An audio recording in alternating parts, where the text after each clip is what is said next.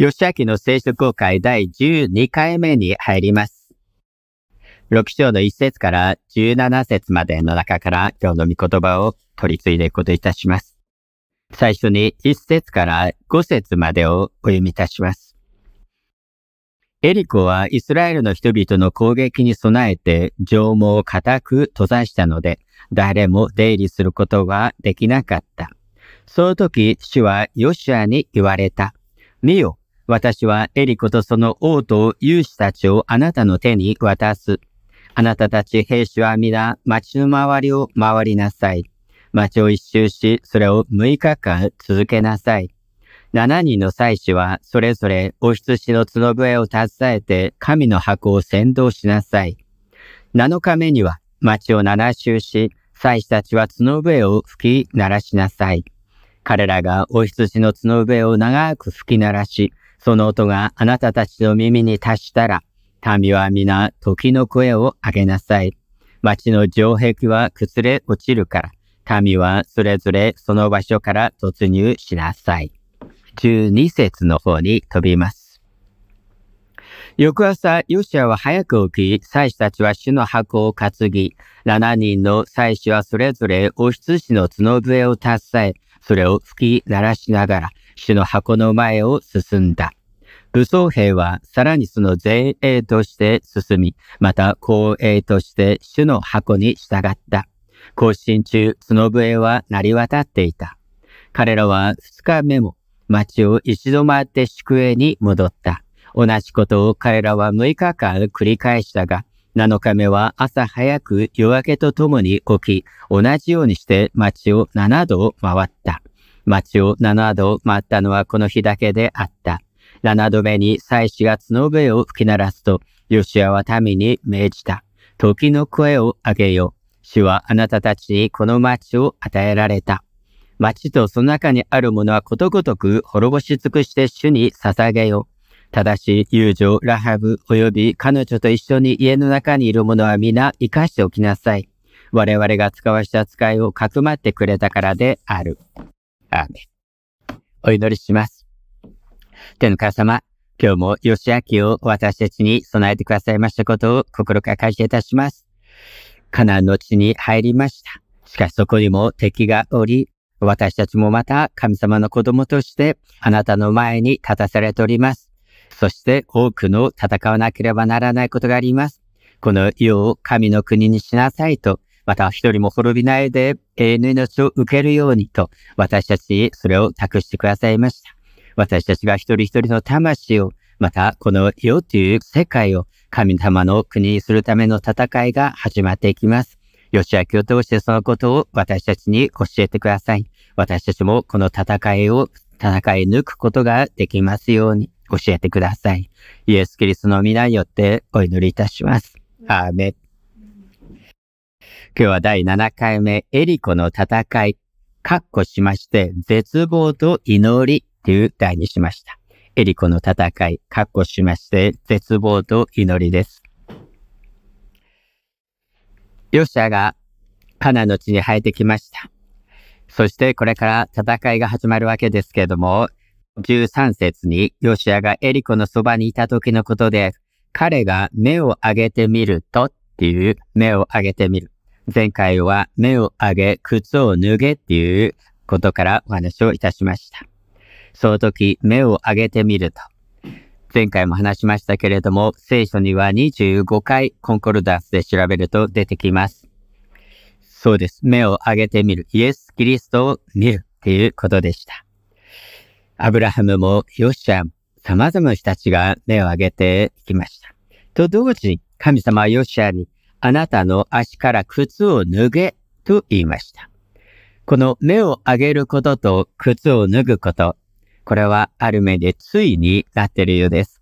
神様に目を上げても靴、自分の歩みとか自分の立っている場所、それを脱がない。神もこの世もとなってしまいますね。そうではなくて、本当に私たちが神様だけに信頼するってこと、靴を脱ぐってことも大事なこととしてお話をしました。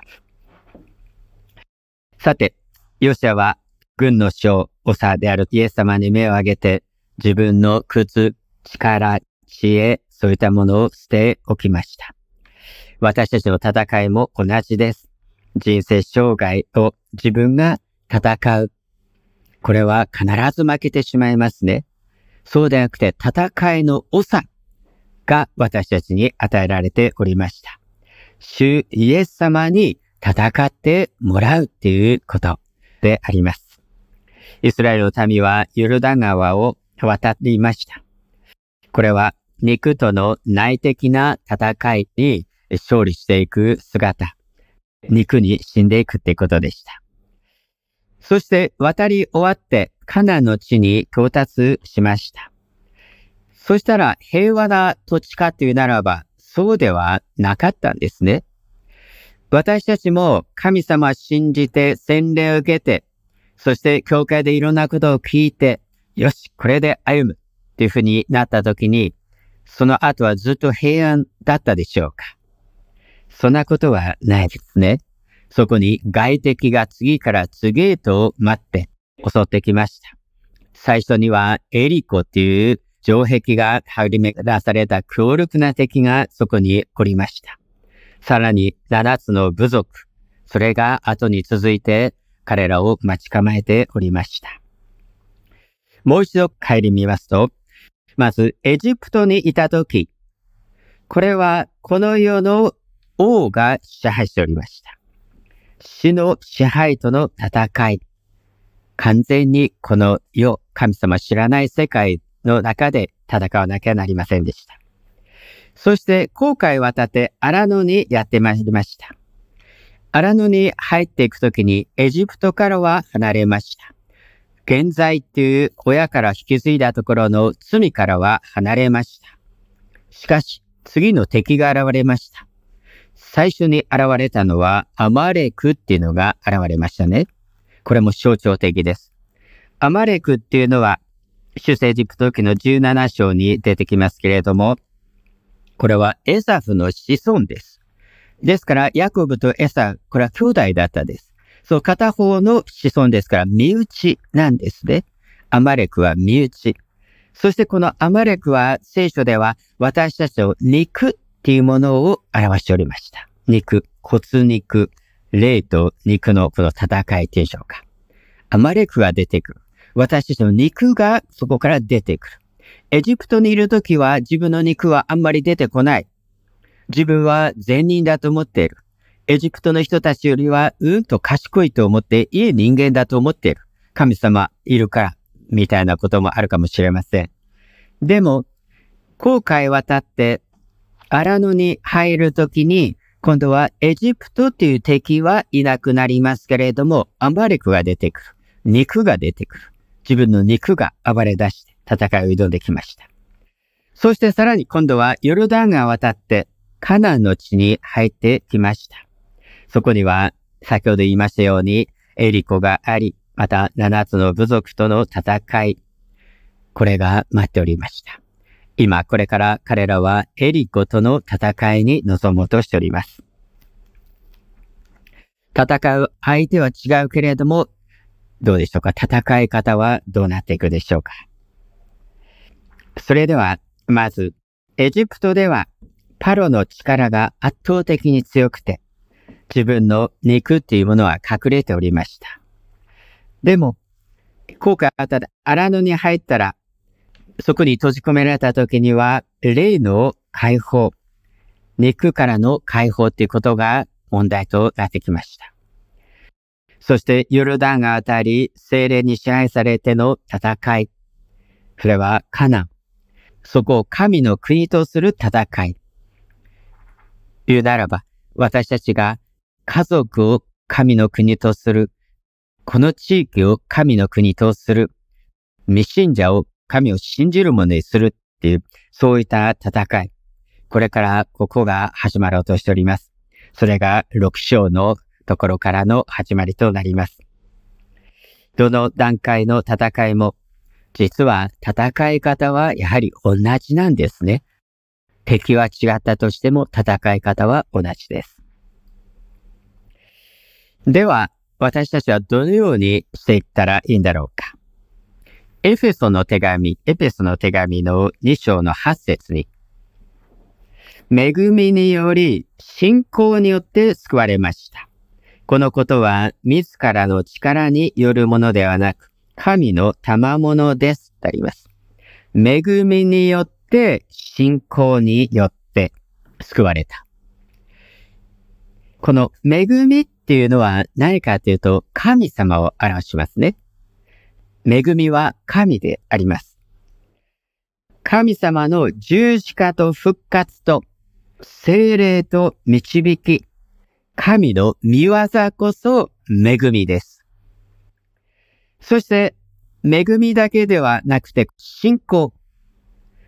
信仰とは、その神と神の見業に自分を結びつけることです。神と神の見業に自分自身を結びつけていくこと。全人格的な応答という行為。これが信仰の戦い。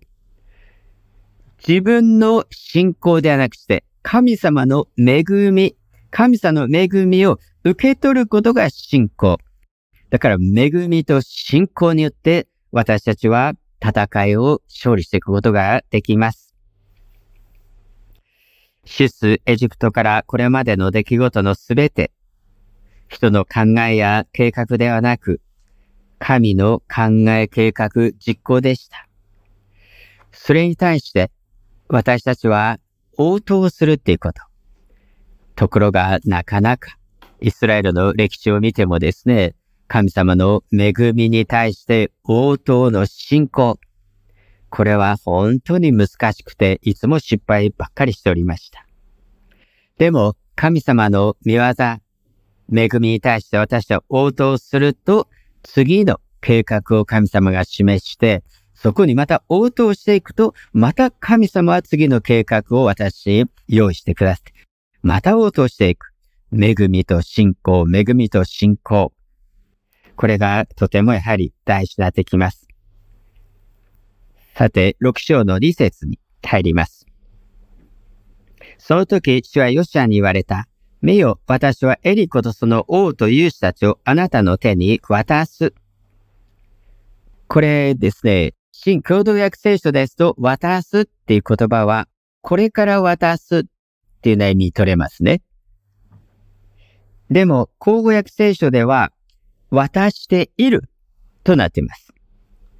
新化訳聖書では、渡したと、こうなってます。現在完了形。英語の方もそうですね。渡している、渡したっていうですね、そういった言葉がいいと思います。渡すとなると、ここから始まるのが私たちの努力だとか行い。ここにすぐ結びつけてしまいます。そうではなくて、渡している。渡したんだ。要するに、親が子供に自分の財産をもう渡しているんですよね。これから渡すんですか？そうではないです。親は子供に対して自分の財産はもう渡しているんです。それと同じようなものです。ただ、それは年齢を重ねていろんなことがないと、それは実際には受け取るってことはできないんですけれども、それと同じような言葉で、神様は私たちにエリコを渡している。ここに注意してほしいと思います。私はあなたに力を与えてエリコを打ち負かすように、力を貸してあげようではない。お前が良い子供になったら財産を分け与えよう。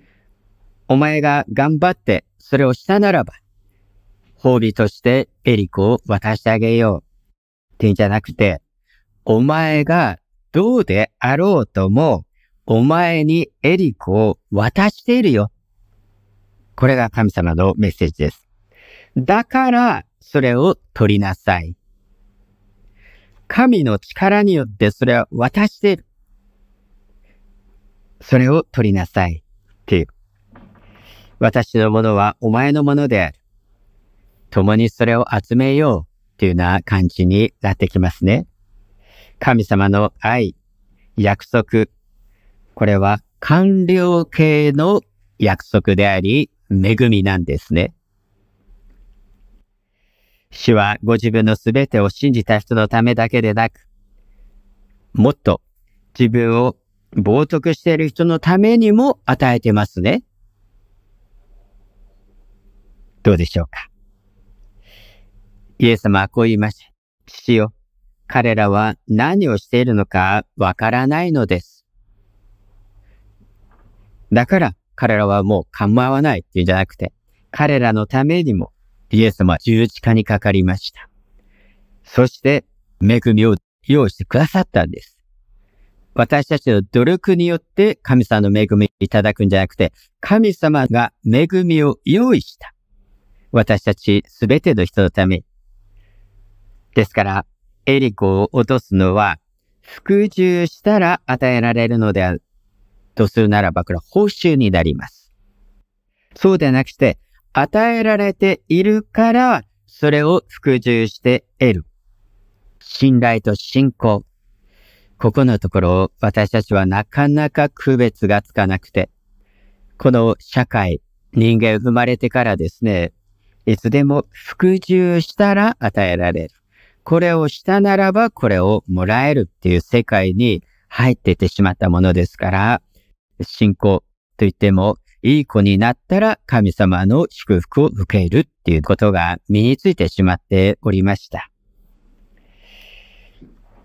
すべての信仰の技は神の恵みによる。すでに神が用意しているもの、それを信頼、信仰によって受け取る。十字架と復活もお前がいい子になったら私がお前の罪の代価を払ってあげようではないです。もう私はお前の罪の代価を払ったからそれを受け取りなさい。これが恵みと信仰。私たちは信仰の方が先立ってしまう。そして恵みを受け取ろうとしてしまう。そうでなくて、恵みが先で信仰はその後と言ってもいいです。罪とサタン、これはイエス・キリストによって滅ぼされて打ち負かされ無力になっております。しかし、罪とサタンが私に死んで無力になってはおりません。キリストの前に罪とサタンは滅んでおりますけれども、私の前にはまだ残って戦いを挑んできます。ですから私たちが勝つ方法は、罪とサタンに勝利したイエス・キリストといかにして結びつくかっていうこと。これが問題となってきます。神様はエリコを与えている。だから、一日一回、六日間、一回ずつ回りなさい。城壁の周りを回るってことでした。七日目には七回回りなさい。カナンに入り、サタンがないのではない。サタンは簡単に神様の支配を許しません。それを勝ち取っていかなければなりません。全世界に出て行って、すべての作られたものに福音を伝えよう。と言いましたし、すべての民を弟子とし、精霊の名によるバプテスマを授けなさい。御心の天になるごとく死にもなさせたまえ。と言って、この世界を神様の国とするために、神様は私たちを用いて、私たちにこの働きを委ねてくださいました。では、神様の御心を私たちはどういう風にして成就していくんでしょうかぽっぽっと祈る。その通りすぐなっていくんでしょうかならないですね。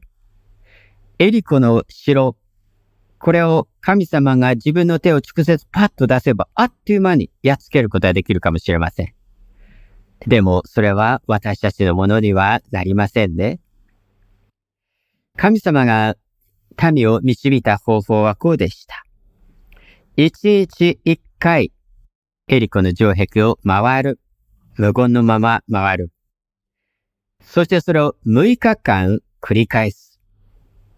そして7日目になったら、一日として7回回って、そして叫び声を上げる。それでエリコの城壁は崩れると言いました。このことはあまりにも問題解決に遠く思われるんではないでしょうか。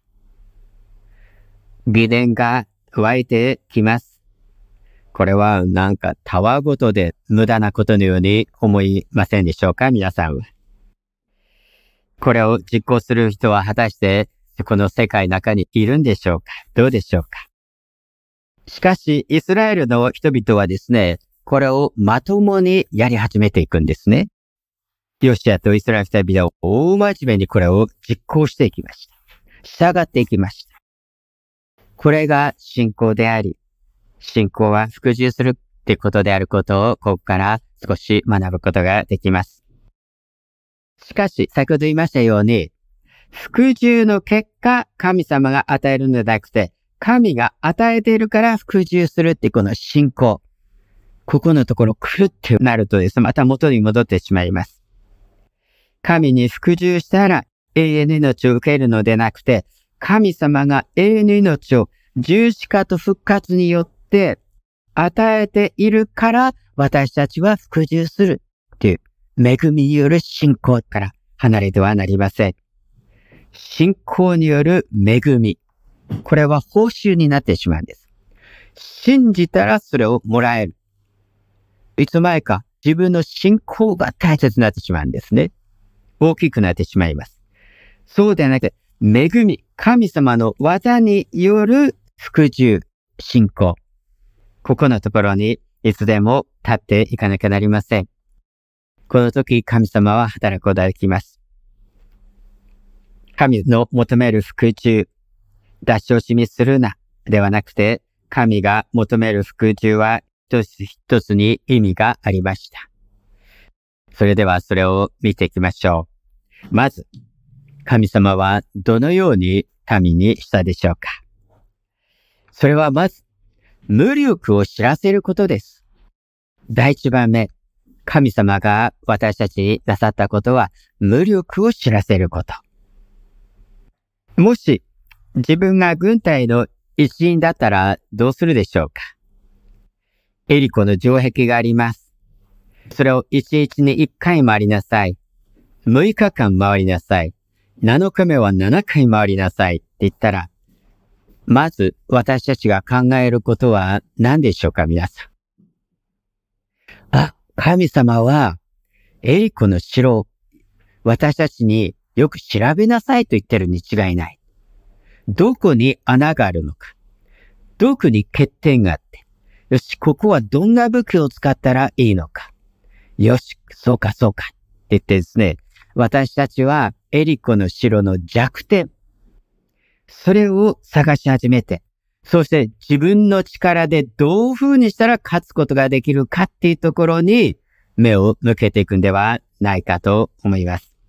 多分そうだと思うんですね。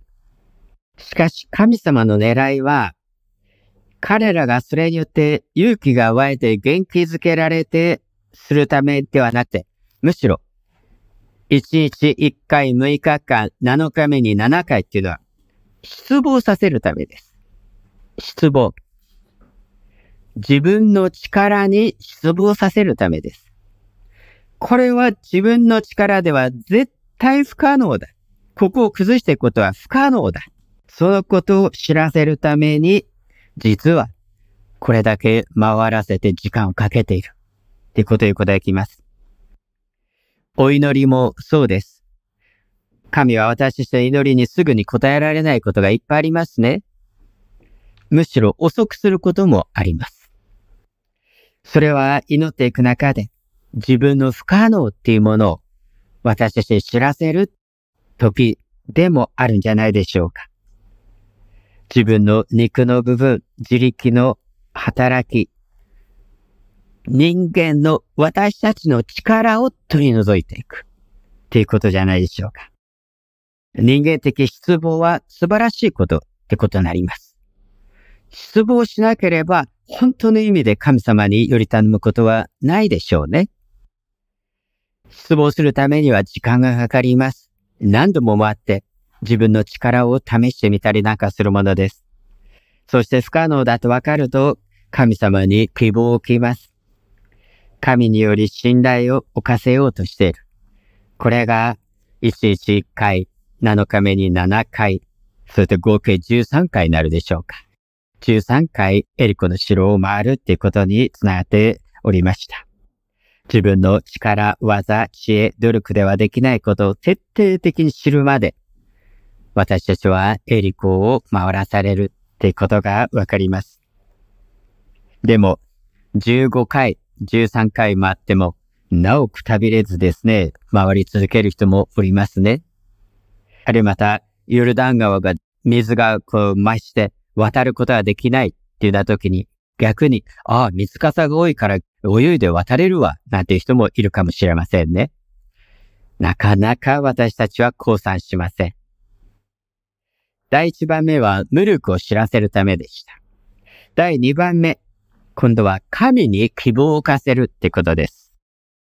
何もせずに腕組みしていても何も心配しません。そこで私たちはいろいろな方法を考えます。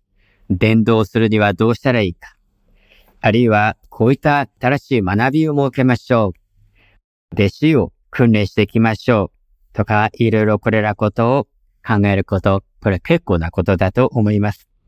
しかし、努力、方法に希望を置いてしまう。これも罠ですね。これだけした。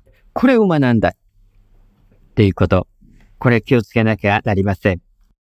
私たちはできないが、神にはできるというところに行き着かなければならないんです。神にはできる。アラン・レッドバスっていう人がおります。もう亡くなりました。私大好きだったんですね、この人が。ですから、箱根でケズクコンベンションがあるときに、アラン・レッドバスさんが話すとき一番前に出座っておりました。その人が言ったことをパッと思い出したんですけど、こう言いました。神が求めるのは、新しい方法ではなく、新しい人材である。って言ったんです。神が求めるのは、新しい方法ではなく、新しい人材である。新しい人材っていうのは、まさに、ただただ神様に望みを置いていく。自分に失望して、神により頼むもの。これが新しい人材だ。方法とか、いろんな学びとかを超えて、やはり神様その人を求めているんだ。その人を通して神は働ける。宮沢を行える。ということでした。主よ、私たちには全く希望がありません。あなただけです。と、神様にいつでも祈っていけるものになりたいと思います。第1番目は無力を知らせることでした。第2番目は神に希望を置かせるためでした。7回回るってことは。3番目は叫ぶってこと。これは祈りでした。7日目に7回回って、これ皆さんもう疲れてほとほと何もできないですよ。7日目に。力なんか全く残ってないでしょうね。7っていうのは完全数ですから、人間を完全に失望させた7回。巡るってことだったと思います。祈りは御言葉を信じて従って回ってみたものにやっぱり与えられるんではないでしょうか。なぜかというならば、回ってみないものには祈る必要は出てこない。神様に希望を置くんじゃなくて、なお自分の努力とか、この世っていうものにしがみついているからです。なぜならなお自分の何かによってできると思い続けてしまうのが人間ですね。イスラエルの人々は13回まで沈黙を守ってきました。沈黙を守るっていうことは、世と自分に向かっては叫んでなかったってことにならないでしょうか。私たちは回るうちについつい予想を見て、あ、あの人に、あ、あの人にこうしてもらえばこうなるわ。ああ、こうだわ。これを学べばこうなるわ。っていうのはですね、いつの間にかそういった方法論の方とか、あるいは人だとか、この世っていうものに頼っていってしまいます。世に向かって訴えてしまう。だから、それをしないっていうこと。そうじゃなくて、ただただ神様の言いつけに従って回り続けるっていうこと。この世に向かって最も大きな声を出すもの、最も多くのものを勝ち取ると、私たちは考えてしまっているんですね。霊的必要は世俗的、肉的方策によって満たすことは決してできません。霊のものは霊によって、霊のものは神によってのみ、これは与えられていきます。そしてそれは神の言葉は神によってのみ満たされると言ってもいいと思いますね。ですから彼らが叫んだ時にどうなったかっていうと、イスラエルの人たちが城壁を崩したんではないんですよね。よし、それではここからバーッとみんなでここに大砲を撃って突撃してこの城壁を崩して中に入ってやっつけろって言ったんではなくて彼らが叫んだだけで神様がその城壁を崩してしまいました。これが神様の見業であり、そして私たちは、じゃあそこで黙ってていいかというその後に、そこに入っていって敵を滅ぼしていくっていうこと。神が先立ちたもん。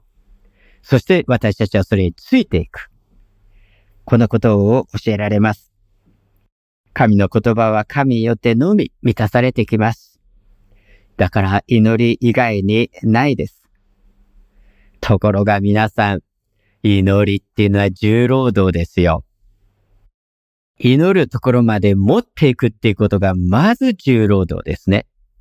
自分に失望することですから。こんな重労働はないですよね。ですから、いい加減重労働を避けてですね、ほどほどになってしまいますけれども、やはり私たちは6日間1回待って7回回るっていうこと、これが本当に大事なことだな。それは自分自身に失望するってこと。自分自身の失望の分だけ私たちは神様に叫ぶことができる。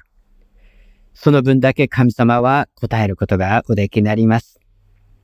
恵みにより、信仰により、どうぞ、信仰によって恵みにならないように、恵みによって信仰。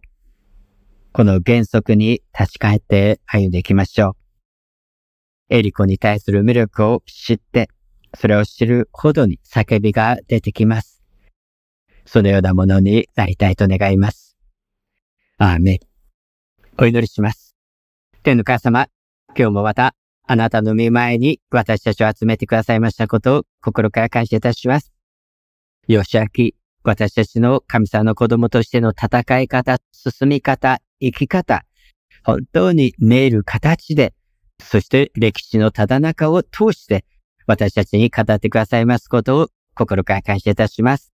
どうぞしよう。私たちの前にもいつもエリコの城が行く手を阻んでおります。